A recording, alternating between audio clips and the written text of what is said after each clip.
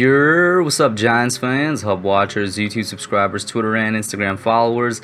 It's Kush back at again with another Giants video. Of course, in this one, big news of the day is all the cuts that the New York Giants made to get down to their 53-man roster. At the time of recording this video, it's like 3:30, 3:31. Uh, Joe Judge is about to go have a press conference right at 3:40. Wow, my hair is just like really out there, huh? But yeah, he's about to go have a press conference right about 3:40, obviously to talk about today's moves and you know the upcoming season and stuff like that.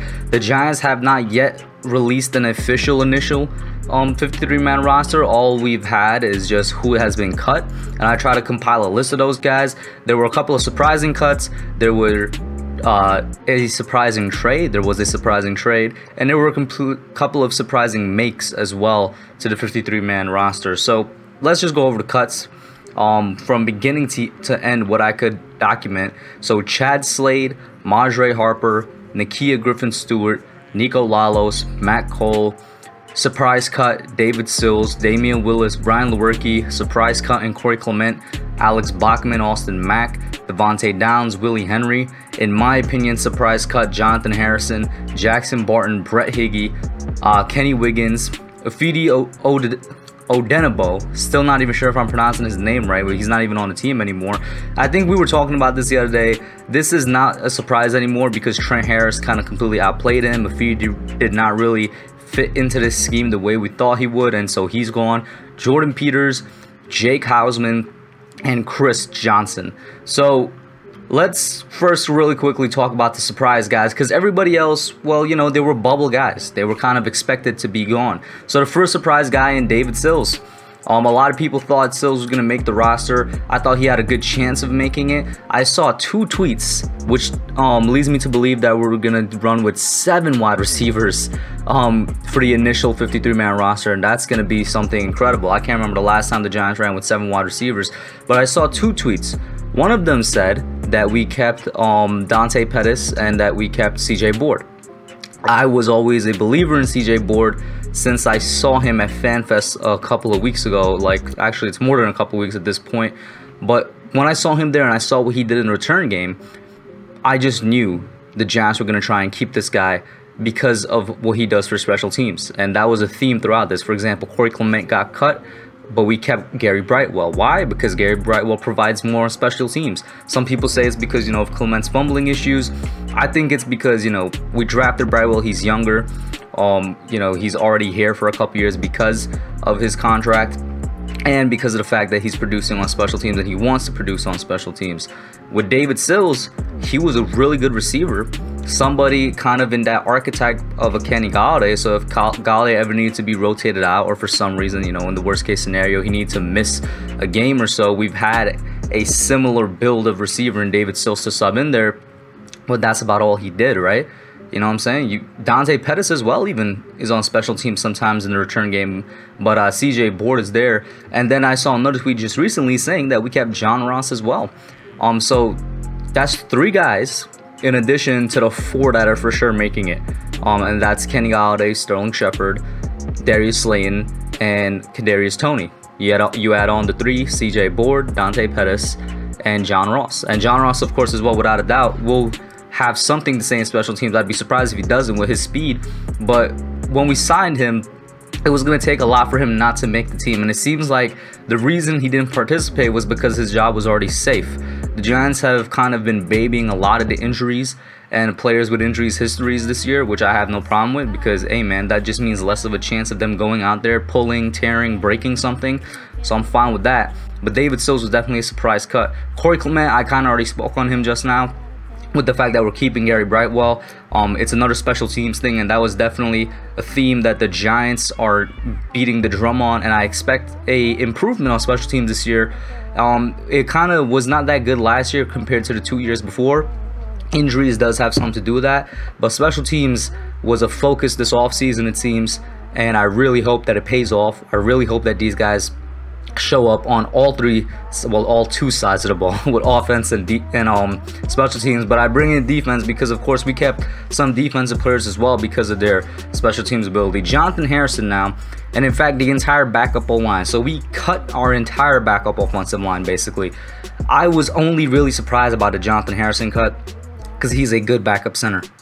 Jonathan Harrison had no business being cut, in my opinion, and he was the only backup lineman that was healthy and that was consistent and that was good in the preseason and in training camp. And I still am not completely sure as to why we cut him, but part of it is answered by that surprise trade I mentioned earlier. Of course, you guys probably already heard of it. The Giants trade their fourth round pick this year to the Baltimore Ravens in order to receive Brett, not Brett, Ben Bregenson. Am I mispronouncing his name? I probably am.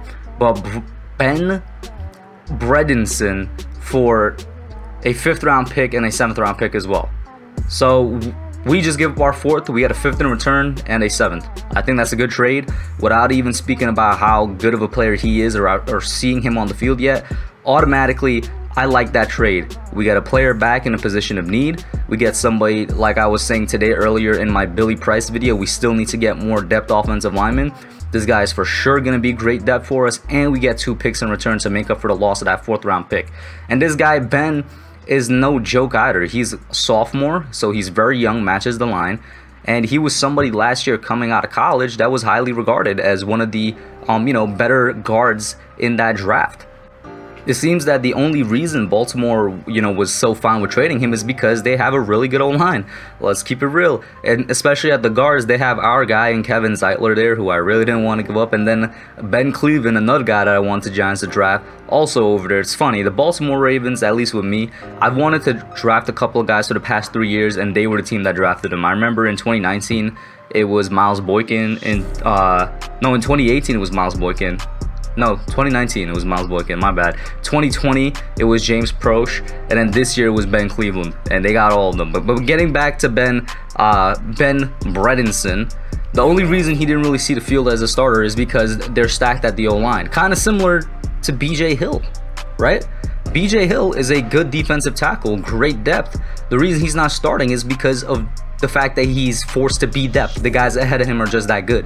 And real quickly, I'm going to read out a scouting report on Ben Bredenson from Dane Brugler. I'm just to read out the summary. Of course, we all need to go and look and do our own research a little bit more, but this was something that helped ease my mind on him as well. A four-year starter at Michigan. He lined up at left guard in the offensive coordinator spread pro style scheme. One of the few two-time team captains in Michigan history. Football is important to him, playing with a killer instinct and the mature toughness that translates to the pros. He's a savvy power-based blocker who can create a surge with his hands. However, his initial reflex is to react with his hands, not his feet, which will tie him up versus quick rushers at the snap. Overall, he displays the lower body tightness and athletic concerns that likely limit him to a phone booth in the NFL. But he's experienced, strong, and tough minded, showing a starting level positional traits for a power running scheme. And I'll say this we have acquired a lot of inside offensive linemen that are power rushing guys. And a lot of inside offensive linemen that are good in the run game need to improve in their pass protection. A lot of them that require on their hands require you know basically rely on their power. I use the wrong word they require. Rely on their power rely on their hands a lot that are really good with pushing guys if they're gonna you know be blocking forward. But they need to improve in pass pro a little bit. They need to be a bit more athletic. We, we kind of have that archetype for almost every single guy on the inside of our line right now and he matches that he's he has room to improve that's why he was taken the round that he was taken you know what I'm saying? That's why he's here as a depth piece. Maybe he improved into a star for us. I don't know. You know, some people say he's better than Shane Lemieux. We'll see where we land with that. But at the very least, we got more depth, and I'm happy with that. Now, in terms of the surprise makes, um, for the uh, for the Giants, I guess there's really only one surprise make in Sam Beal. Um, it may be Cullen Gillaspia. We're running with two fullbacks. That's kind of crazy. Once again, we're running with two fullbacks because of special teams. Going back to um, going with CJ Board over a guy like David Sills and Gary Brightwell over a guy in Corey Clement. We're running with Cullen Gillaspia because of what he brings for the special teams, it seems. I hope the special teams improves a lot. Uh, but then Sam Beal, I guess they really do think he's going to be great cornerback depth for us. You know what I'm saying? We all joke and, and hate on Sam Beal from time to time. Uh, why is it? Because he can never see the field. Uh, and then he opted out last year. So it's just like one one year after another, he's never hitting the field. This year he hit the field. He's still essentially an, F- an NFL rookie because he hasn't seen NFL action, and he wasn't that bad. He was okay in the Patriots game, Um, you know what I'm saying? Of course, we all remember, I think it was the Browns game where he tried to intercept that ball and completely mistimed it, and the guy got a great uh, catch and yard after catch because of it. But he wasn't terrible in the Patriots game, and he'll be good depth. Josh Jackson also made it. I'm assuming they're both going to be, you know, kind of battling to be above each other in the depth chart but our secondary is nothing to worry about in terms of our starters. I guess the Giants are just having insurance policies there in the worst case scenarios that guys go down. But that's about it, man. There was a lot of stuff that happened today. Of course, I will be going live tonight at 9.30 for the show. Hope to see you guys there. Share your thoughts there as well. Put your comments down below.